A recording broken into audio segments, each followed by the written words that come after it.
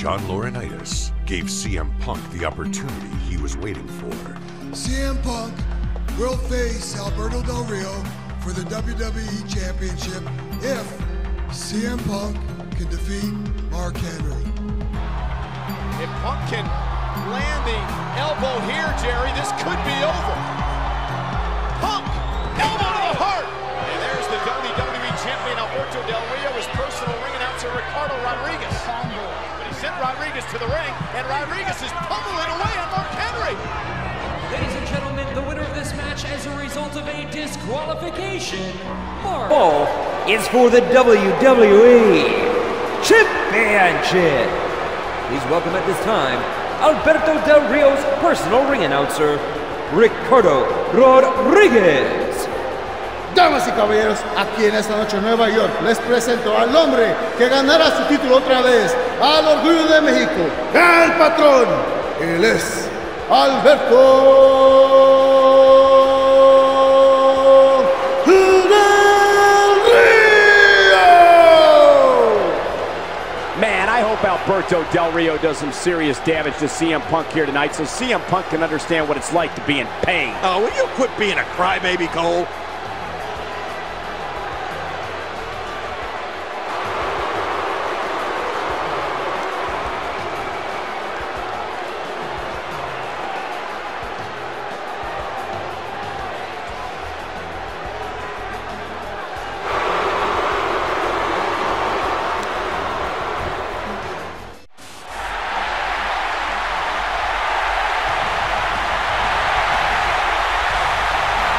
Ladies and gentlemen, per the request of the challenger, I would like to introduce CM Punk's personal ring announcer, WWE Hall of Famer, Howard Finkel. Ladies and gentlemen, introducing the challenger from Chicago, Illinois, weighing 218 pounds, CM Punk. Nearly 17,000 strong here in the Big Apple on their feet for the number one contender, CM Punk. And any way you look at it, Alberto Del Rio versus CM Punk is going to be a hell of a matchup here tonight at Survivor Series.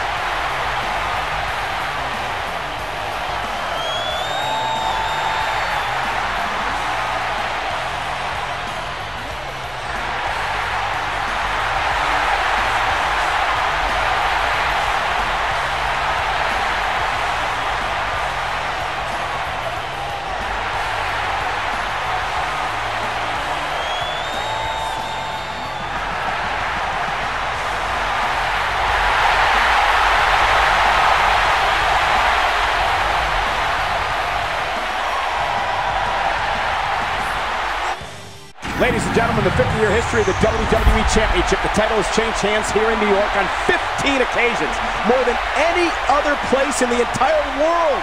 Will it happen tonight? And CM Punk is finally getting his rematch after Alberto Del Rio cashed in his Money in the Bank contract at SummerSlam.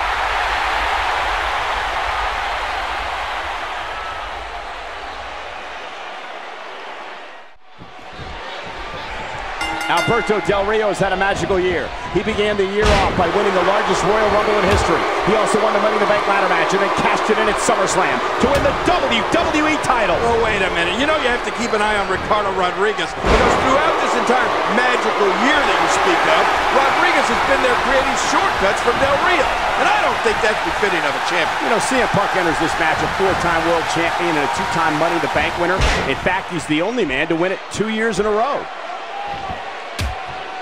You know, not to brag or anything, Cole, but I have quite an impressive Survivor Series history myself. I wouldn't call teaming with Sleazy, Queasy, and Cheesy to be doink, dink, pink, and wink impressive, King. Hey, wait a minute, Michael. That dink was a lot tougher than he looked. Plus, a win's a win. So then I should bring up 95 and 96, right? Uh, no.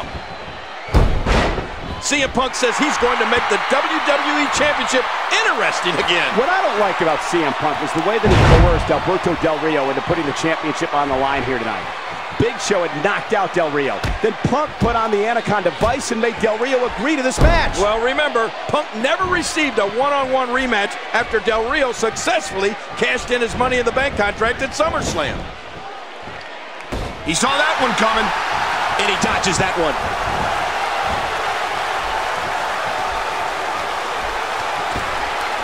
CM Punk gathering attention in a hurry. The first time this great arena hosted Survivor Series was back in 1996. And unfortunately, I remember that well. I teamed with a young Triple H, Goldust, and Crush to take on The Rock, Jake Roberts, Marc Mero, and The Stalker. Let's just say it didn't go so well. Stalker? Yeah, was that you in disguise? King, you may not remember the 1996 Survivor Series fondly, but I assure you the WWE Universe does. Among the highlights were Undertaker defeating Mankind, Bret Hart defeating Stone Cold Steve Austin, and Psycho Sid winning the WWE title from Shawn Michaels. Yeah, Sid's victory over Michaels was one of the 15 times WWE Championship changed hands in this very arena. That's more than any other arena in the entire world.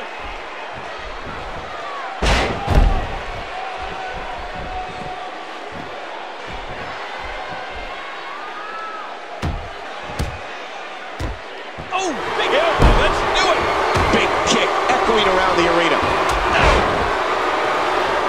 Later tonight, for the first time in history, known WrestleMania opponents will team up when The Rock partners with John Cena to battle R-Truth and The Miz. I have a hard time believing, King, The Rock and John Cena will be able to coexist here tonight. Well, I gotta agree, The Rock and John Cena certainly are an unlikely team. But it's not necessarily uncommon to see the great one, Shelton CM Punk. What a maneuver! You know, King, I'm thinking about filing a criminal and civil lawsuit against CM Punk What? after he injured me this past week on Raw. Oh, that's great. How does that Anaconda Vice feel anyway? It's, Punk, Punk, Punk with Del Rio up high, going for the GTS. Oh, but look at Del Rio. He's not even going for that cross arm breaker. And watch that roundhouse. Yeah, but look at Del Rio. Del Rio into the arm breaker. Arm breaker. Devastating maneuver here. Will he tap out with a cross arm breaker? Is there any counter at all with this move? Can he do it? Can he dig down deep and fight out of this hold? You know, I've been watching Alberto Del Rio since he arrived here in the WWE, and he's always working the little things, something his opponent never sees coming. That's what's unique about Alberto Del Rio. What's going to be interesting is that you would have to assume the strategy for both men in this matchup is to work the arms of the other. For Del Rio, it's the cross arm breaker, and of course for Punk, the Anaconda Vice. And you would have to think that both of these guys are under a lot of pressure. It doesn't get any bigger than competing in the Big Apple. The past couple of weeks, Alberto Del Rio has assaulted CM Punk back in the locker room area as he's tried to gain every advantage here tonight. You know, I don't necessarily agree with Del Rio's approach, but I do understand it. When you're champ, you don't want to lose the title. Once you get that feeling, it stays with you forever. Del Rio, a two-time WWE champion, certainly knows what it means to be WWE champion. His second reign started back at Hell in a Cell when he turned back then champ John Cena and CM Punk. King John Cena has been named Superstar of the Year at the Slammies the past two years. Yeah, but you'd have to think whichever superstar wins this match here tonight will be the odds-on favorite to win this year's Superstar of the Year when the Slammies are held next month. You know, King, speaking of the Slammies, I'm no stranger to that award. I've a few proudly displayed on my mantle at home. Well, unfortunately, I also won a few Slammies in 1996, and they weren't necessarily career highlights, considering what I won them for. And let's just leave it at that, Cole. It's so hard to game plan for CM Punk, Cole. Yes, considering his Muay Thai style, it allows Punk to use his legs, his weapons, as much as his arms. Yeah, but on the flip side, Alberto Del Rio is a mixed martial arts expert in his own right. Although, it doesn't look good for him right now, does it?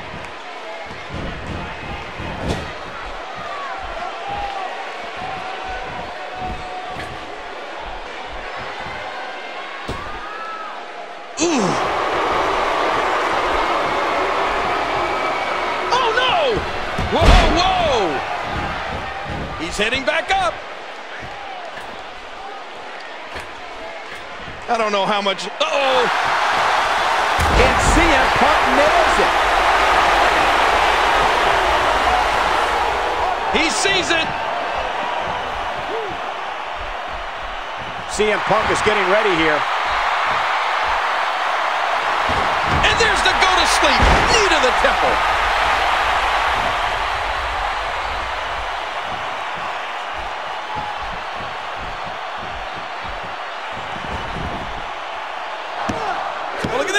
Oh, and a kick out. And look at Pog, wait! He's got him! The Anaconda Vice locked in! Locked in on Del Rio! Del Rio, baby! His, look at this! Del Rio's tapping out! We got a new champion! Oh my God! CM Punk has won! What a moment!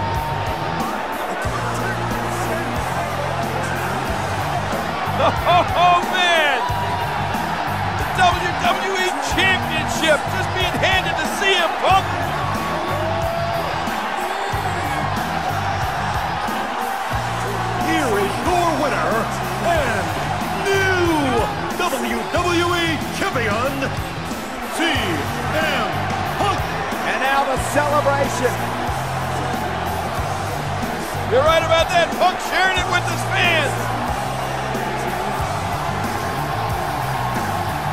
What an incredible moment.